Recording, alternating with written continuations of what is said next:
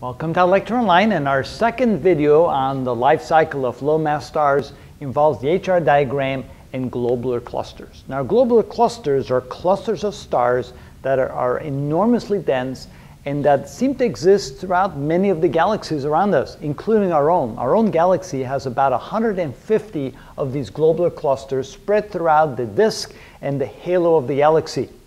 These globular clusters are absolutely enormous. They are anywhere from, uh, how big are they? Right. They're like anywhere from 60 to 100 light years across, and they contain as many as a 100,000 to over a million stars, all clustered together.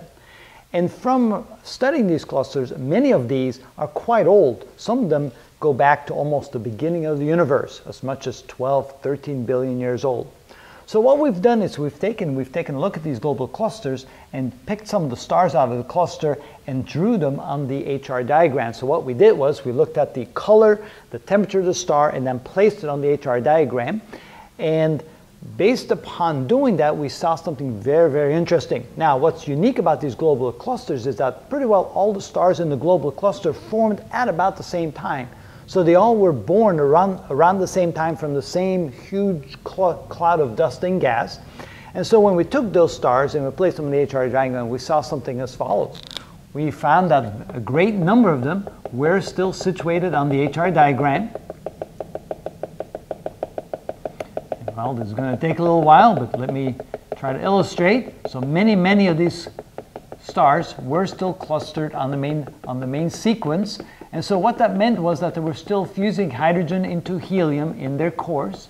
But what happened was there was a point where all of a sudden there were no stars past that point on the, on the main sequence, but the stars seemed to like veer off from the main sequence and end up something like this. There were a whole bunch of stars like that.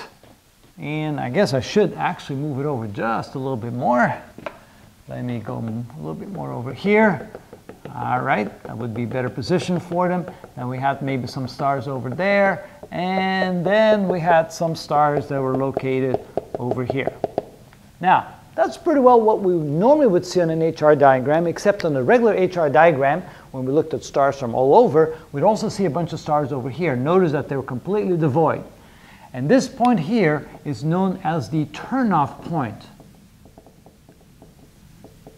Now what we also discovered was that very large stars that are on the main sequence, the big blue stars with very high temperatures, they would burn through their nuclear fuel very, very fast. The core of these stars would be so hot that the nuclear fusion process where hydrogen was converted into helium would go so fast that they would only spend a fairly short amount of time as a main sequence star maybe as much as 50 or 100 million years, and then they would go through their red giant stage.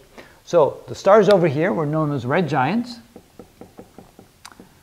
The stars down here in the left corner were known as white dwarfs. And so what we could do with the turnoff point is we could realize how long a star could survive on the main sequence as a main sequence star before it would turn itself into a red giant. And we would say that any stars that are up here, they would only last maybe about 50 million years. So maybe I'll write as 50 with an M. And stars over here, maybe 500 million years and over here 1 billion year, and here 3 billion years. So what that means was if the turnoff point was at a position where stars would no longer remain on the main sequence, they would then finish their main sequence stage after 3 billion years, that would tell us that the star cluster was about 3 billion years old because any stars that was older than 3 billion years old, um, well, no, I'll take that back. So any stars that are less than 3 billion years old would have already ch uh, changed from a main sequence star into a red giant, and any stars that are smaller than that critical mass they need to go to a red giant stage at this point in time, they would still need a few more billion years before they would turn into red giants. So this turnoff point was actually an indicator of how old the stars are in one of those clusters.